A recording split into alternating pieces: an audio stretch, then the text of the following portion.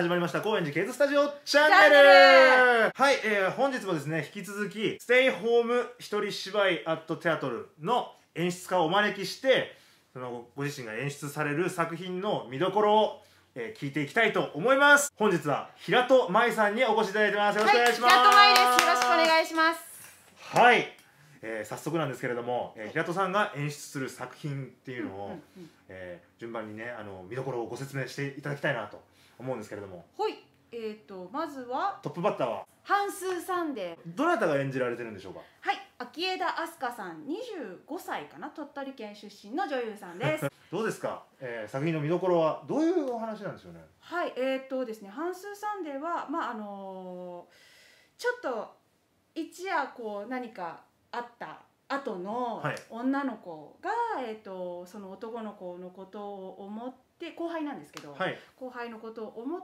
ているうちに後輩の妄想で出てきてしまうと。で女の子も出てきてしまうと。でなんかちょっといろいろいろいろやるんですけど全部記憶の中の妄想っていうすごい芝居ですね。はい。今こう全貌を語ってしまったんですけどそれは大丈夫ですか？大丈夫大丈夫です。まだ全部はね語ってないですよね。まだ全大事な然ところは全然語ってなるほど、はい。今はあのほんのさほんの触りだけほんのです、ね、触りです。ちょっと撫でただけです。どうですか稽古は？いやなんか男の子が妄想で出てきて自分は女の子だけどっていうだけじゃなくてなんか女の子の中からベロベロこういろんなミリミリガンでしたっけ？24人ぐらい出てくるっていう。ベロベロ？ベロベロ出てきます。でいっぱいベロベロ考えてて、はい。これ恋愛学の教授がまずいる。そして学生が出てくるそしてとかっていうことをいっぱい考えてて本当は慶田さんがそれによっていろいろ変わっていくのがすごい面白かったです。なるほど、はい、じゃあいろんな慶田さんが見れるっていうことですね。いろんな慶田さんが見れます。そのためのもう芝居です。ベロベロベロベロ。ベロベロベロあこれは楽しみですね。次の作品は？はい。ブラディ・スペッツァティーノですね。奥村そらさんの作品です。ブラディ・スペッツァティーノ。スペッツァティーノですね。スペッツァティーノ。スペッツァティーノです。女男性だったんですね。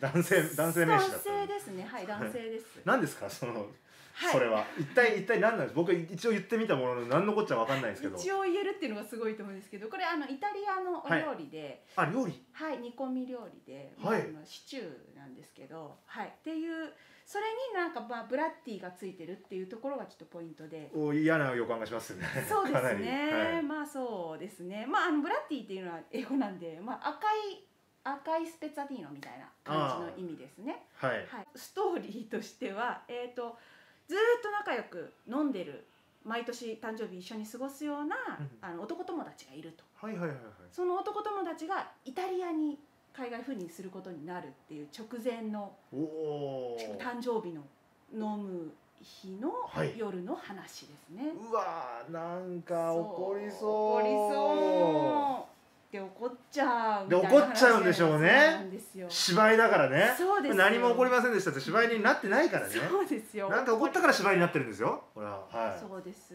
もう怒りそうな予感。予感。からの。はい。ベロベロと。またベロベロ。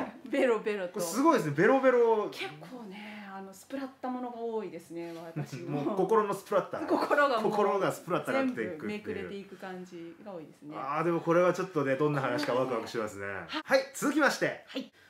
ウィッチオーディション来ました。えっとミュージカルです。ウィッチオーディションミュージカル？はい。はい。で演ずるのは？パオさんです。パオさん。はい。パオさんはえっとなんかあのいろいろなことをされてきたらしくてダンサーさんもヘアメイクさんも、はい。そして今シンガーパフォーマーはいミュージカルということは歌うということですか？そうです、えー、高崎信介さんの曲をあー。3曲ほど結構なボリュームで歌われますおね。おミュージカル。もういいんですよ。すごい。ちなみにウィッチオーディションっていうのはあの魔女のオーディションという意味ですか？そうですね。本当はオーディションなんですよね。むしろプリンセスのオーディションなんですけどはい。なぜそれが魔女のオーディションになるのかなっていうところなるほど。ねウィッチオーディションあの、プリンセスのオーディションなんですそうなんですよ。これも何が起こるか。何が起こってしまうのか。見どころは？見どころは？ね、なんか思うんですけど、まあ、あの私どちらも結構関わるので思うんですけどやっぱこういうステイホームの時期にあの音楽劇っていうんですかね。ですごいこうか気持ちが湧き立たせてもらえるなって思ってはい。なんか稽古をしててもやっぱ音楽の力でこう引っ張られていくので本当になんかあのパオさんは一人でやるし私は一人で演出するけどなんか一人じゃないねみたいな感じがうん。多分あの見ていただく方にも歌の力とあとまあ歌で進む話はい。の力っていうのがなんかすごく感じられるエネルギーあふれる作品だなと思います。はいありがとうございます。お願いします。そして次は一口アイスクリームはですね、はい、えっ、と演じるのは春日マレさんという、はい。ミュージカル女優さんです。これもまたミュージカルなんです。これもミュージカルですね。はい、あのもともと男の人用に書かれたんですね。はいはいはいはい。はい、あの竹久夢二と彼女彼を彼を取り巻く三人の女性のうんうんお話なんですけども、それを女性が演じるんですか？そうなんですよ。夢二を夢二を。夢二を女性が演じるってこれまた一風変わったというか。そうですね。あの夢二っていう人がやっぱりあの理想を追い求めた人だったので、はいはい。それをこうそれに共感できる人なら必ずあとやっぱその性を飛び越えるとかっていうところでちょっとしたなんて言うんですかね。あの違和感がものすごく曲を引き立ててくれるなっていう曲がまたすごくいいんですよ。はいありがとうございます。そして最後は旅自宅。旅自宅。出演は山中敦恵さんです。山中初江さんの旅自宅。はい。これは結構シンプルなタイトルですけどどんな話なんですかね？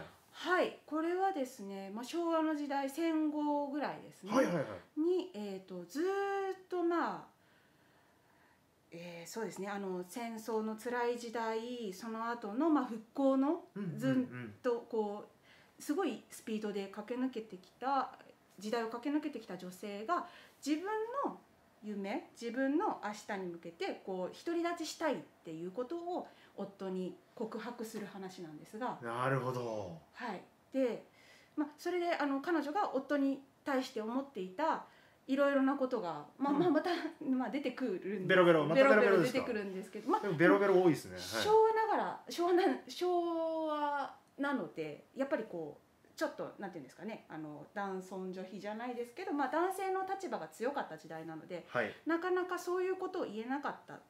今日こそは言うっていうすごい覚悟のもとにこう彼女の告白が進んでいくっていう話です。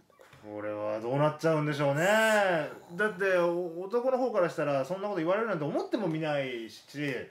ねそんなこと思ってたこともし知らなかったっていうことじゃないですかきっと。うんうんね、どうなってしまうんでしょうね。そうなんです。それが本当にあの最後までぜひあの目をカッと開いて見ていただきたい作品ですね。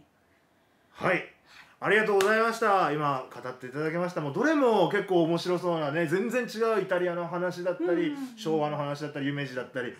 これはもうどれから見ていいのか。もう全部見てください。はいぜひ、ですね、えーお座席はね限定5席しかないんですけれどもあの配信ということを生配信やっておりますので、えーぜひ見ていただきたいと思います、はい。えーえっと平戸さんの、えー演出される作品はいつやるんですか？はい、えー、8月6日に C ブロックは初日を迎えまして8日の2回目までのところですね。8月678とやるということですはい。ねはい、ぜひ、えーチケットなどの詳細はですねこの下に載せておきますのでぜひチェックしてみてください。はい。はい本日はもうご覧いただき誠にありがとうございました。ありがとうございました。ぜひチャンネル登録お願いいたします。お願いします